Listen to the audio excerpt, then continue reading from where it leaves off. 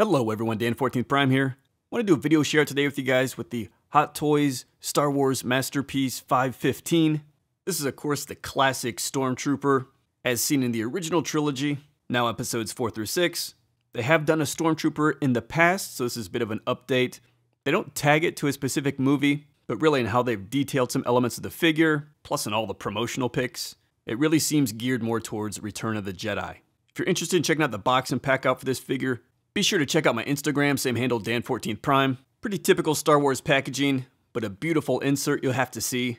And this is the deluxe version, which does include a special accent on the box. As I mentioned, this is the deluxe version, which means it comes with this big Star Wars Death Star looking back panel. It lights up as you can see. It's got a cardboard insert detailing some on the back. The regular version of this figure runs about $190, and this deluxe version is a little over 240. If you're interested in picking either of those versions up, check the link down in the description below. I'll jump you out to the side so you can check out all the professional picks, check pricing and availability, and get your order in. As usual, any shopping you do through those links below supports the channel at no cost to you and is very much appreciated. Personally, I went for the deluxe because I like these little extras that add a little something to the figure that we don't get really often enough from Hot Toys to create a full diorama or display sort of look to an environment. And I've got another of these guys on order that should be coming soon so I can do a little troop building with these guys because they can really make a display look like those scenes in the movie. But let's jump in closer and check this figure out. So let me start off with the light up panel since I've got it out and lit up. It's about 15 inches tall, about an inch thick, fits very snugly and nicely into a Detolf, leaves only maybe a quarter to a half inch space up top so you get a nice fill to the height of the Detolf. Very much looks like a, you know, a background that you would find in a lot of Star Wars scenes, Maybe on a Star Destroyer, maybe the Death Star. It's a very recognizable design. There's a profile view of it, like I said, about an inch thick. Has a little foot back there on the back, so it can stand alone by itself. You might notice some little clips coming off the front there. Those attach to the base. I'll show you that in a second. Here, I think it's cool, even if you didn't want to use the light up side, they give you a cardboard insert on the back side. It also gives you a bit of a Star Wars deco. Less iconic, but definitely, you know, fits the scene. And so if you didn't want that, you could use this version. My one complaint on this side is this is like a cardboard insert that goes underneath some hooks. Really tight, and the more you move this, the more wear goes on the cardboard insert. I can already see my edges kind of getting worn. So that's a bit frustrating. I wish it could have maybe just magnetized or just fit some other way on the back, or maybe just have this be something other than kind of cheap cardboard. But what I'm pulling up there is the switch. So you always have to move this thing to get to the switch, just to turn that off. And even just up here is the battery panel. We take that off. It takes, I believe, three AAA batteries. And then here, since I've turned it off, just flip it back around to the front. This is the look with the lights off. Let me do a little split screen here. Show you one lights on, lights off. You can see the comparison. I think then the other thing to show you that accompanies this, of course, is you know your regular base Star Wars Stormtrooper. Again, kind of a you know whatever spaceship, Star Destroyer themed to floor on this thing and it has, you know, a couple of hooks right here, hook grabbers to go in those hooks there. Pretty simple like that. So you can set up the whole base and, you know, you get your floor in there like that. So that looks pretty sharp. And then the last thing that I can't show you, uh, because I don't have more than one just yet, is you can lay these side by side and not just kind of lay them side by side, but they've got connection points here. I pull this a little closer, so you just push to the top and it kind of flips out like that. You get a little hook. And on this side, it would sort of be the attaching point, right? Sort of the other side of that.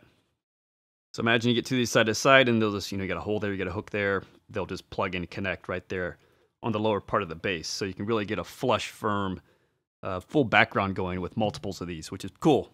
And then, of course, lastly, just a simple crotch grabber base that would go right there. So that's the stand and display overall. And again, it's that back panel that's the plus up on the deluxe version. Let's jump into some comparisons. Like I said, this is often a figure you'll have standing next to other Star Wars iconic figures. It's to help accent that figure or create a scene. So here he is next to uh, Darth Vader. This is the New Hope version. We'll drop Empire Strikes Back uh, Boba Fett over there. You can see pretty much that uh, size and stature of a figure. And then if I drop Return the Jedi Luke there in front, just pulling these guys off display so they're all in a bit of a pose. But even without the lunge, Luke's of course a bit on the smaller side as we know. Let me give you the wide angle view of the figure here next. And again, they've done a Stormtrooper before. I don't have that older one to compare, But key differences, really, you'd probably only notice if it was side by side. But the helmet's a bit different, particularly with some of the accenting through the nose section. This figure has some just dirt and kind of wash wear through some of these, you know, finer crevices and corners through the belt, the armor, etc. And particularly in the boots, that really ties it back to Return of the Jedi for me from the jungle scenes. The blaster's off the right hip versus the left. And again, link in the description below. Sideshow actually has some of those comparisons out with this figure if you're curious. Profile view here, again, this figure does have like a, a belt. Comes across that midsection, sort of velcros in the back. The gun holster hangs off of that. Back of the figure here, you see the blaster hanging off the back. He's got his little thermal detonator, just hooks on the back there. Seems to fall off all the time for me. Another comparison difference you'll notice out on Sideshow is this back armor is different as well. The original figure is kind of thinner, lighter looking. It looks a little bit more armored up here from the back end view. And I'll give you this profile too, as it is a bit different. You know, no gun hanging off of the left side of the hip, so a little cleaner. Let's go in a bit closer and just kind of chunk out some of the details, uh, top and bottom. Again, the helmet here I think looks great. Great shape to it, details, the blue accents, sort of green visor, black and gray across the nose, and the way they've detailed the front end, sort of breathing apparatus piece of the helmet. Really cool. All this armor you see is really just kind of slipped over like a black polyester undersuit. So it doesn't say it removes, but of course it probably does. It's all just kind of elastic banded tends to slide all over the place a bit, but it helps so you can, you know, manage the articulation. But I always find these things kind of rolling around a bit. But that's just how they all fit on there. And again, this midsection piece here, just kind of floating, elastic in the back. Little accents here. I'm actually missing one. So Sideshow's got to hook me back up with that. I don't know if they need to replace the whole belt or what, but this might tend to rise. You want to kind of get it down because there's some nice detail through there in the midsection that you want to see. And then let's see here if I can just kind of get in. Let me just get it this close to show you the wear overall. You see it a lot in there on the belt, just in the crevices.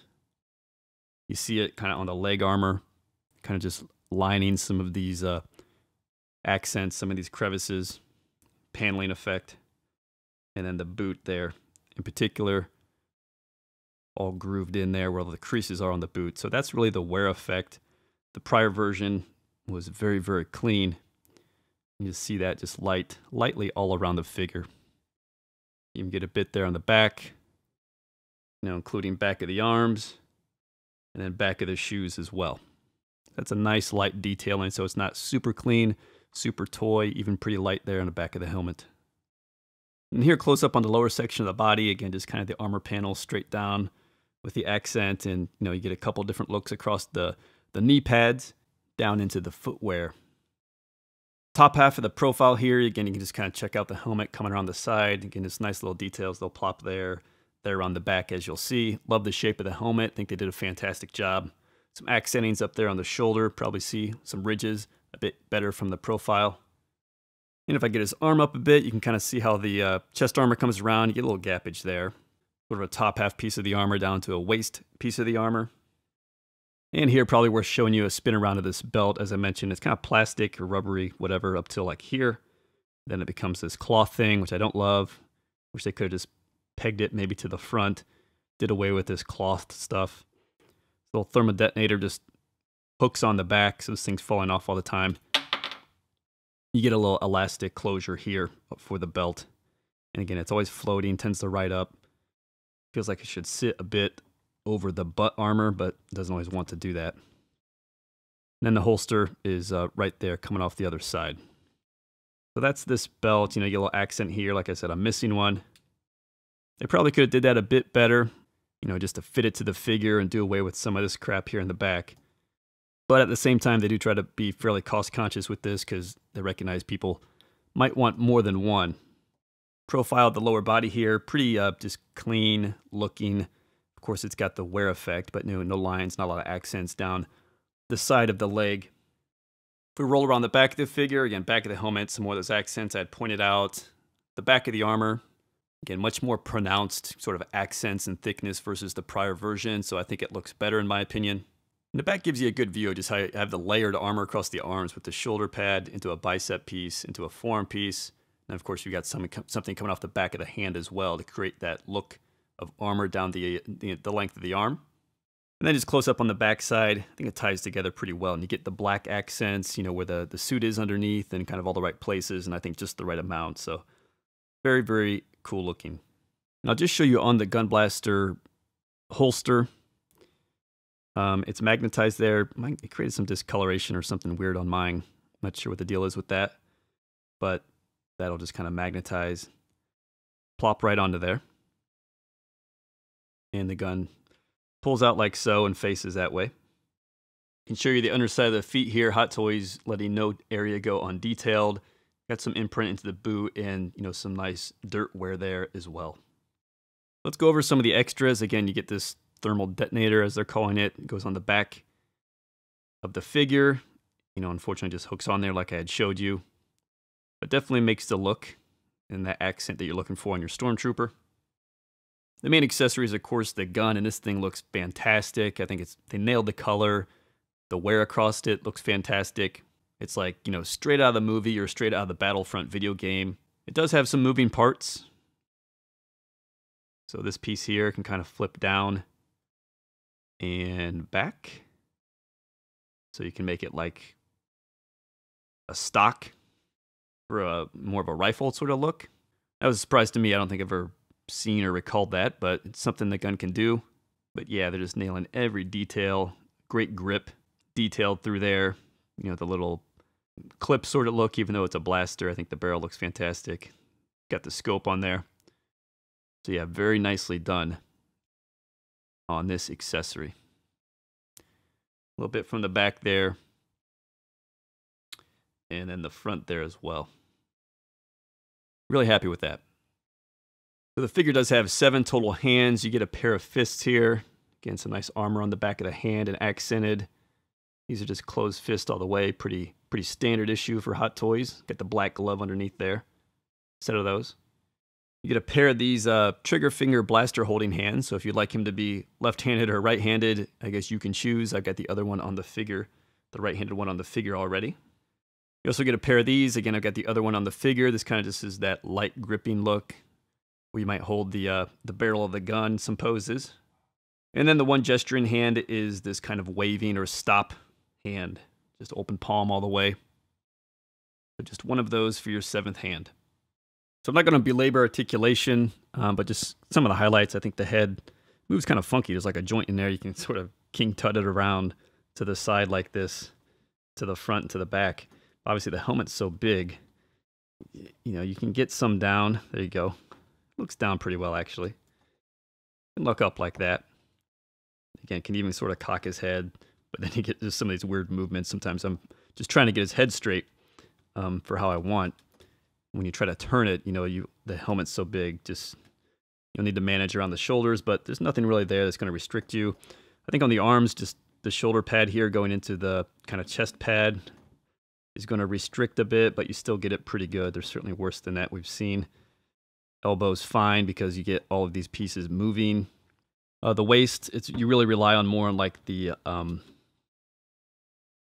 a little bit more up higher than the pure waist, I'd say, to get some of the turn, but you get what you need, I think. That's fine. And even down in the leg, I think you get a pretty good leg raise for that armor. And then the knee really is probably where you come up a bit light. Got to watch how much you push those together. You probably don't get your full 90 degrees there. You get more like maybe 70 on the knee because that that's what tight part of the armor right there. So that's probably one of your more major restrictions.